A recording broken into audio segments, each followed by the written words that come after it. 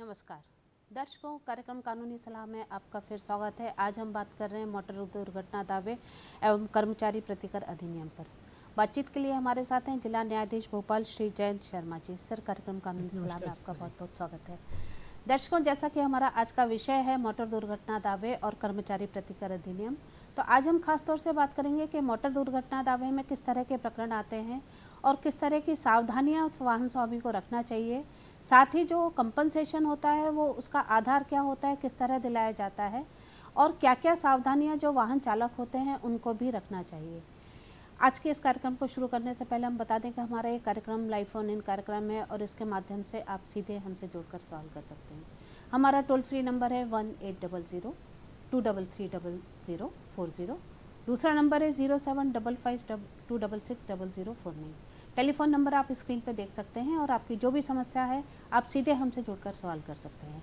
आइए कार्यक्रम शुरू करते हैं। सर सबसे पहले जानना चाहेंगे कि मोटर दुर्घटना अधिनियम जो है दावा अधिनियम वो क्या है? उसमें क्या प्रावधान किए गए हैं? देखिए मोटर दुर्घटना दावा अधिनियम एक ऐसा अधिनियम है जिसके ज़रिए सरकार जो मोटर यान जो चल रहे हैं सड़क पर उस उनको नियंत्रित करने का प्रयास करती है। इसके अलावा एक और एस्पेक्ट है इसमें कि अगर कोई दुर्घटना हो जाती है तो दुर्घटनाग्रस्त जो व्यक्ति है वह अपनी उस दुर्घटना में आई हुई क्षतियों के लिए प्रतिकर के लिए भी आवेदन कर सकता है। तो ये एक सोशल वेलफेयर लेजिस्लेशन है जिसके अंतर्गत जो अधिकरण है उसका निर्माण किया जाता है जिसमें जिला न्यायाधीश लेवल के व्यक्ति होते हैं। और कोई भी व्यक्ति जो पीड़ित है या उसके लीगल रिप्रेजेंटेटिव उत्तराधिकारी वो आवेदन कर सकते हैं और अधिकरण उस उनके द्वारा किए गए आवेदन के आधार पर। जी। अगर पाता है कि वास्तव में दुर्घटना हुई है दूसरा जो सामने वाला जो व्हीकल था जिस व्हीकल से एक्सीडेंट हुआ है उसके जो ड्राइवर था उसकी गलती रही है तो फिर एक युक्तियुक्त प्रतिकर अवार्ड किया जाता है। जी। सर मोटर व्हीकल एक्ट जो है उसमें प्रावधान किया गया है कि थर्ड पार्टी इंश्योरेंस कराना ज़रूरी है। तो ये थर्ड पार्टी इंश्योरेंस क्या होता है और इससे किसी भी वाहन स्वामी को क्या फ़ायदा है? देखिए ये बहुत अच्छा सवाल पूछा आपने चित्रा जी। जी। थर्ड पार्टी इंश्योरेंस का मतलब देखिए सबसे पहला सवाल तो ये आता है कि इंश्योरेंस क्या है और ये क्यों ज़रूरी है? बिल्कुल। क्योंकि आपने जो सवाल पूछा वो इसके ऊपर बहुत हद तक निर्भर करता है। बिल्कुल बिल्कुल। इंश्योरेंस एक आम आदमी को ये लगता है कि इंश्योरेंस एक सरकार का रेवेन्यू जनरेट करने का तरीका भी हो सकता है और चालान के ज़रिए रेवेन्यू इकट्ठा करने का भी तरीका हो सकता है। क्यों? क्योंकि एक भ्रांति ये फैली हुई है कि इंश्योरेंस कराना ज़रूरी है। क्यों? क्योंकि अगर वो नहीं कराया तो पुलिस चालन काट देगी। जी बिल्कुल। ये सबसे बड़ा एक भ्रांति फैली हुई है। लेकिन इसके कॉन्सिक्वेंसेस हैं। ये केवल पुलिस के द्वारा काटे गए चालान तक ही मतलब अ, रुकता नहीं है। जी।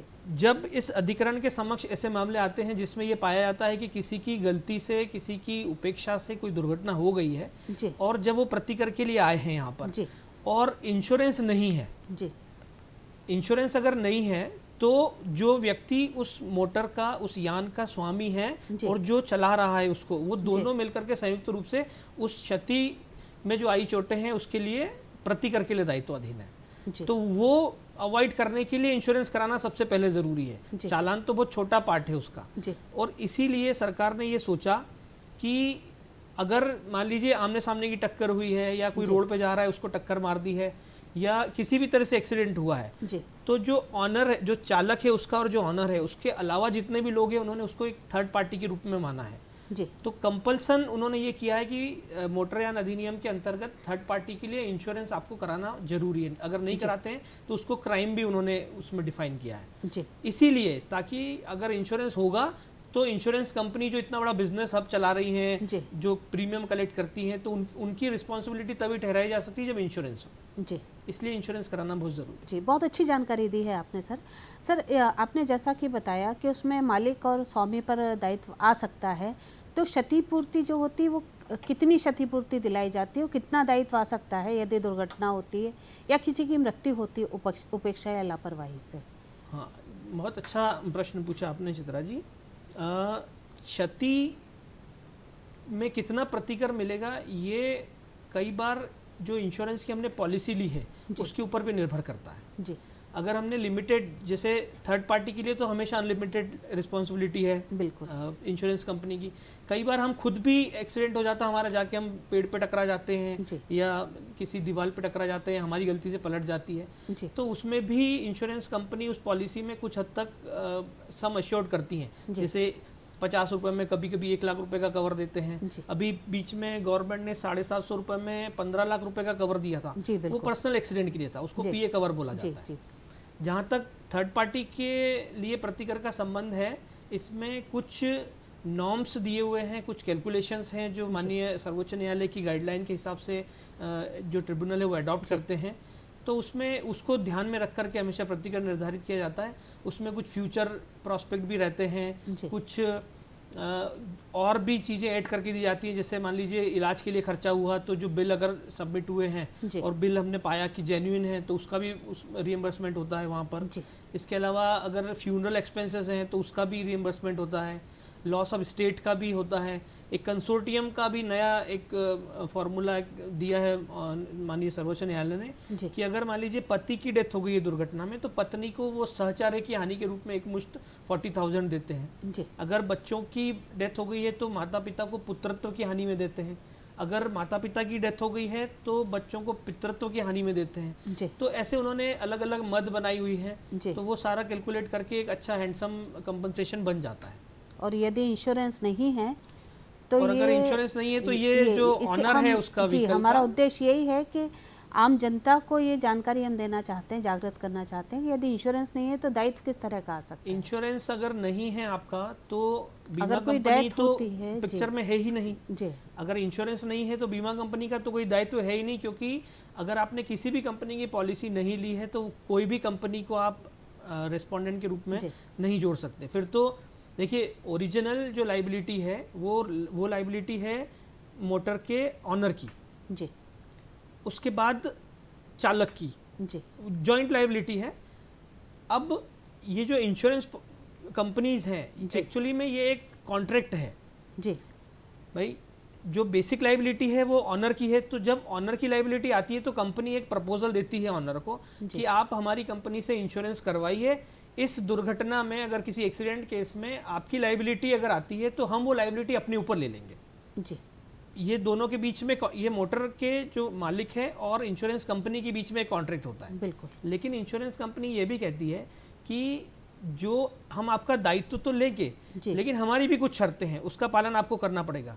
इसलिए हम आपको नॉमिनल रेट पर अनलिमिटेड कवर या लिमिटेड कवर देंगे। जी। वो जो शर्तें हैं उन्हीं को पॉलिसी की शर्तें कहा जाता है। जी। अगर उस शर्त का कोई उल्लंघन मालिक करता है जी। तो फिर लाइबिलिटी कंपनी की फ़र्स्ट हैंड लाइबिलिटी तो रहती है लेकिन उसके बाद में एक फिर कुछ ऐसा कानून बना हुआ है कि चूँकि इंश्योरेंस कराया है तो कंपनी अभी तो भुगतान कर देगी जो इंजर्ड है। लेकिन फिर उसको वसूलने का अधिकार है उससे जो मोटर मालिक है। जी।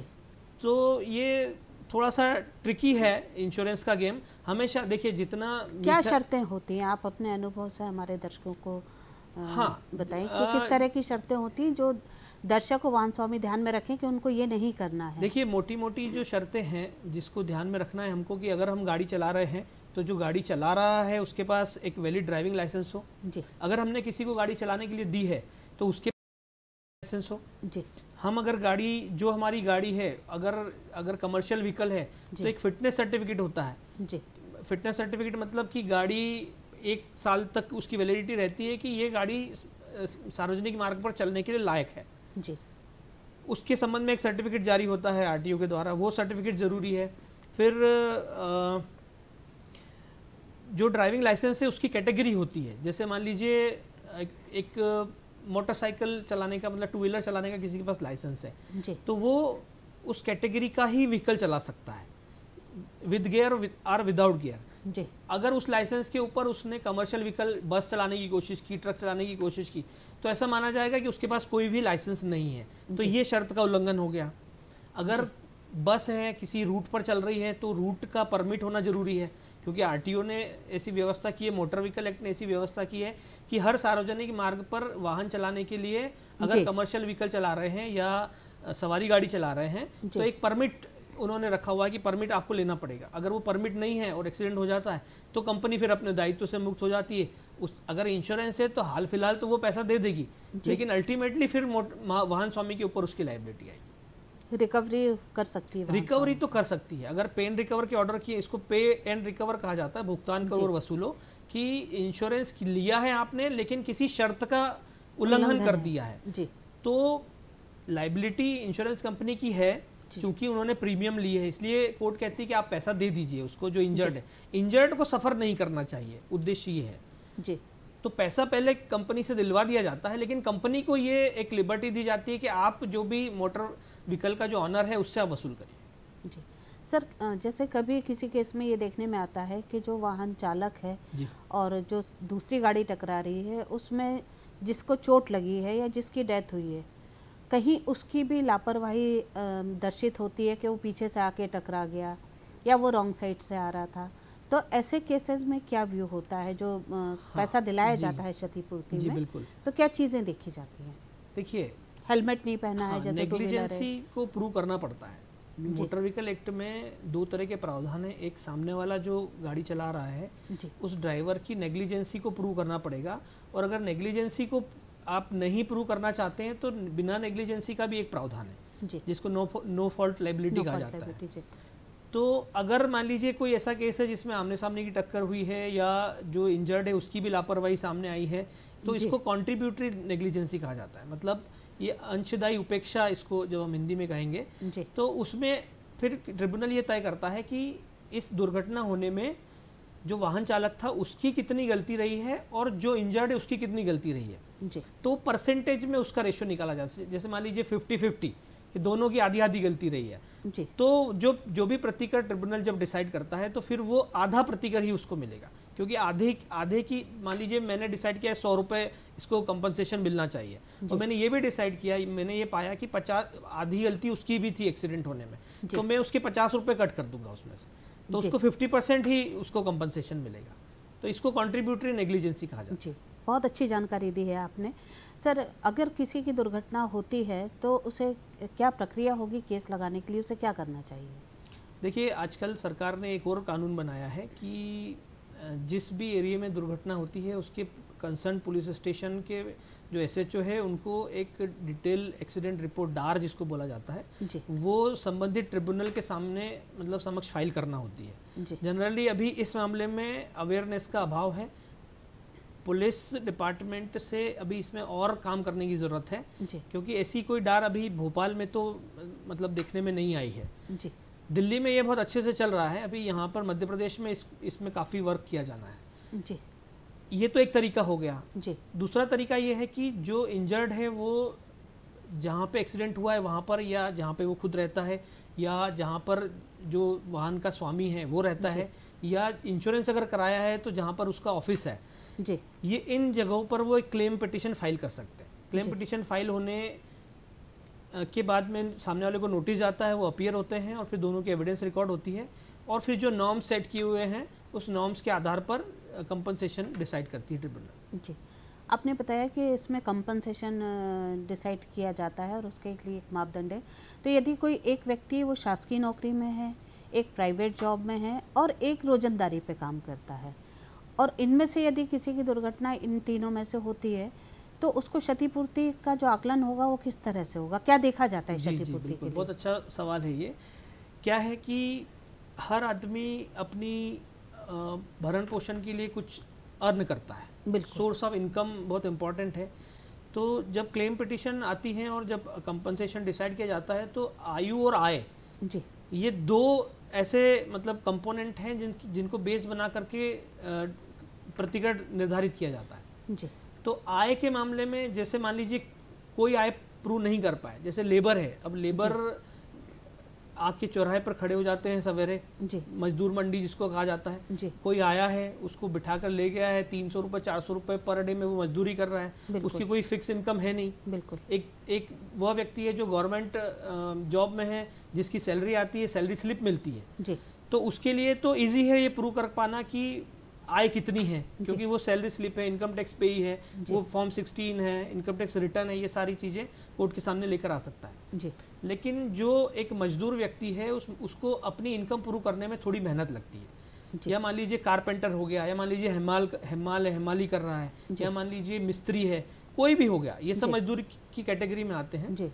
तो ऐसे मामलों में अगर वो प्रूव कर पाता है उसकी इनकम तो उसकी इनकम को बेस बनाकर प्रतिकर का निर्धारण किया जाता है। और अगर वो प्रूव नहीं कर पाता है तो जो नोशनल इनकम है काल्पनिक आय हम उसकी मानते हैं और उसकी काल्पनिक आय डिपेंड करता है कि वो कहाँ का निवासी है वो क्या काम कर रहा था और जो सरकार ने मिनिमम वेजेस एक्ट में जो मिनिमम वेजेस का प्रावधान किया है उसको ध्यान में रखते हुए फिर हम उसकी नोशनल इनकम मानते हुए उसका प्रतिकर का निर्धारण करते हैं।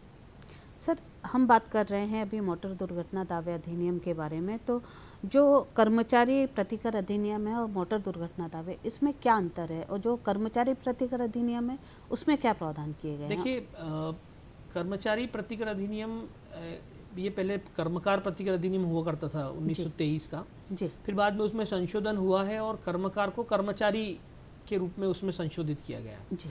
ये लिमिटेड स्कोप है इसका। इसमें जो नियोक्ता है जिसने काम पे रखा है जिसने नौकरी दी है जी। और उसके जो नौकरी में काम कर रहा है मतलब जो एम्प्लॉय है जी। जो कर्मचारी है उसका जी। उस नियोजन में रहते हुए अगर उसकी दुर्घटना हो जाती है या उसको क्षति हो जाती है या कुछ भी इंजरी हो जाती है तो फिर जो नियोक्ता है वो दायित्वाधीन है।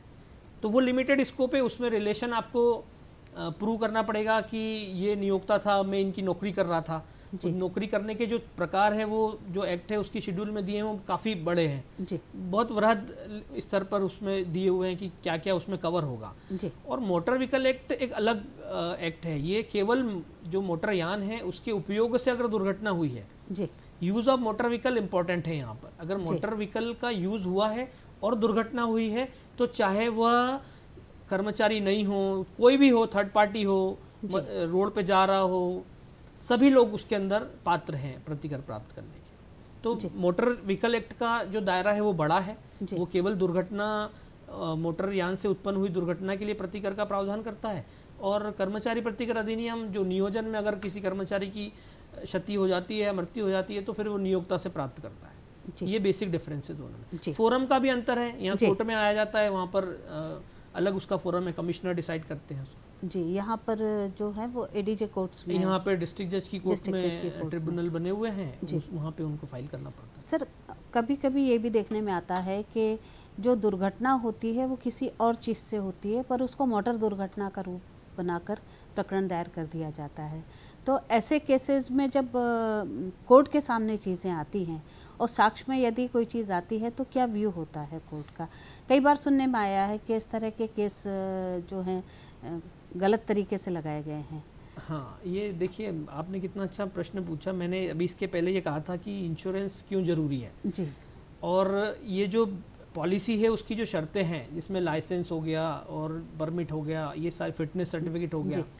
अगर ये नहीं हुआ तो फिर हम वो जो पेन रिकवर वाला जो फॉर्मूला है उससे बचने के लिए फ्रेम करने की कोशिश करते हैं। मान लीजिए मैं जा रहा हूँ मेरा एक्सीडेंट हो गया और स्पॉट पे मुझे ये पता लग गया कि सामने वाली गाड़ी के ड्राइवर के पास लाइसेंस नहीं था या कोई पॉलिसी का ब्रीच था।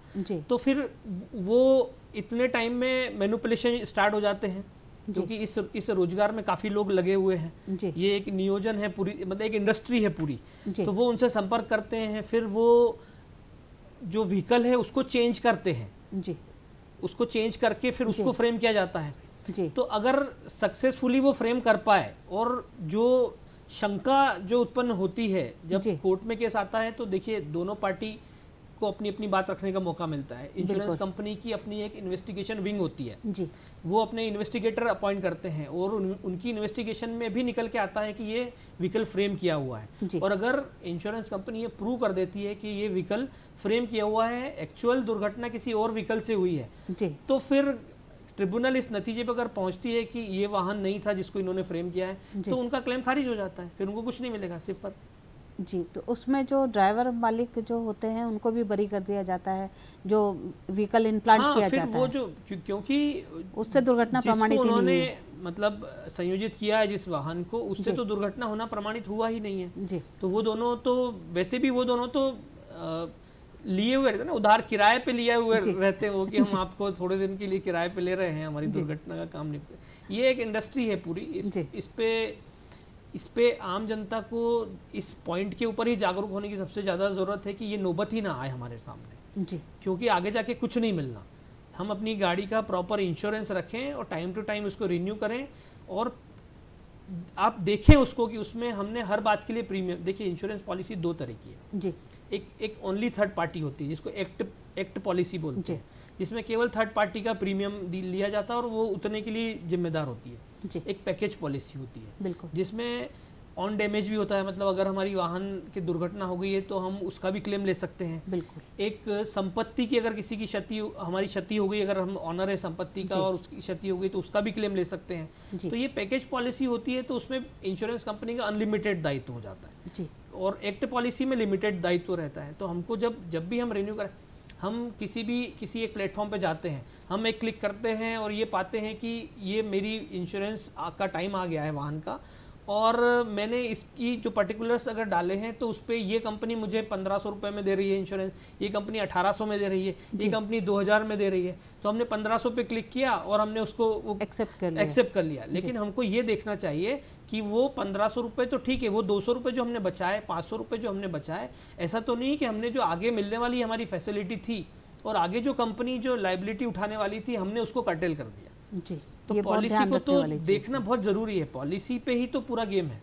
बिल्कुल आपने ये बहुत अच्छी बात कही है कि लोगों को ये समझने की ज़रूरत है कि जो वो ले रहे हैं उससे उनको फ़ायदा कितना हो रहा है और क्या मिल रहा है उतना पैसा देकर। जी।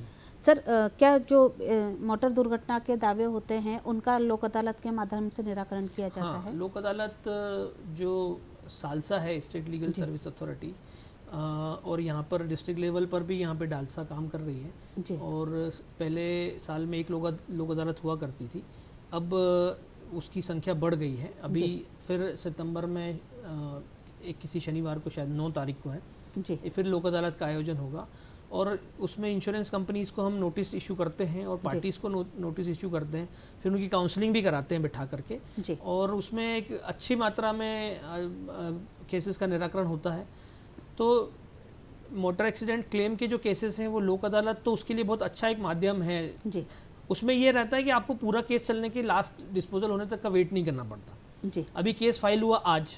नोटिस हुए कंपनी आ गई है और अब आगे एविडेंस की स्टेज आएगी। हम प्रूव कर पाएँगे नेग्लिजेंस प्रूव होगी नहीं होगी ये किसने देखा है आगे फ्यूचर में? लेकिन अगर उसके पेपर इंश्योरेंस कंपनी लोक अदालत के माध्यम से समझौता करने के लिए तब तैयार होती है जब आपके डॉक्यूमेंट्स पूरे हों जब कोई ब्रीच नहीं हो। तो अगर ऐसी स्थिति है तो दोनों एक एक टेबल पर बैठकर नेगोशिएट करते हैं और जो उनकी बीच में बात तय हो जाती है उस वो लोक अदालत में उस राशि का अवार्ड पारित हो जाता है। इंस्टेंट मिल जाता है वो उसको पूरा केस लड़ने की ज़रूरत नहीं नहीं तो हो सकता है एक साल चले दो साल चले। लोक अदालत में तो सेम डे निराकरण है। पंद्रह दिन में पैसा मिल जाता है। बिल्कुल। आप इस मंच के माध्यम से हमारे दर्शकों को क्या संदेश देना चाहेंगे आज के इस विषय के बारे में? देखिए मेरा मेरी रिक्वेस्ट यही है आप सब लोगों से कि गाड़ी जब आप चला रहे हैं तो मोटरयान अधिनियम के प्रावधानों का पालन करिए। जो रिक्वायरमेंट उन्होंने बताई है कि जो डॉक्यूमेंटेशन आपके पास होना चाहिए उसको रखिए उसको केवल ये मत मानिए कि ये एक पुलिस से बचने का तरीका है। देखिए जैसे मान लीजिए हेलमेट लगाना है तो हेलमेट कई लोग ऐसे बाइक पे चलते हैं यहाँ पर हाथ पर लेकर चलते वो कोहनी की रक्षा के लिए नहीं है। जी। तो वो सिर की रक्षा के लिए वो हमारे प्राणों की रक्षा के लिए है। जी। तो ऐसे ही इंश्योरेंस जो है वो केवल आपको पुलिस से बचाने के लिए नहीं है वो आपके ऊपर आपकी अगर देखिए एक्सीडेंट एक्सीडेंट का नाम ही एक्सीडेंट है। संक्षिप्त में चाहेंगे क्योंकि समय का अभाव है। एक्सीडेंट का नाम ही एक्सीडेंट है वो कह के नहीं आता कि मैं होने वाला हूँ। तो अब किसी के साथ भी हो सकता है। तो अगर उससे बचना है उसकी लाइबिलिटी से बचना है तो इंश्योरेंस अपनी गाड़ी का प्रॉपर रखिए और सारे लाइसेंस और ये सब डॉक्यूमेंट होल्ड करके ही उस गाड़ी को चलाएँ। जी बहुत बहुत धन्यवाद सर। आपने बहुत अच्छी जानकारी आज इस विषय के बारे में हमारे दर्शकों को दी। थैंक यू आपने मौका दिया आज यहाँ पर इस पॉइंट के ऊपर बात करने का। जी सर आप आए धन्यवाद। दर्शकों जैसा कि आज की चर्चा में हमने देखा कि मोटर व्हीकल एक्ट में और जो कर्मचारी प्रतिकर अधिनियम है सभी में प्रावधान बहुत किए गए हैं। ज़रूरत है जागरूक होने की। आपको अपने पेपर रखना है इंश्योरेंस कराना ज़रूरी है ये हमेशा ध्यान रखें वाहन रख रहे हैं तो। आज में हम आपसे ये विदा लेते हैं। अगले अंक में फिर आपके सामने उपस्थित होंगे। तब तक के लिए आज्ञा दीजिए। नमस्कार।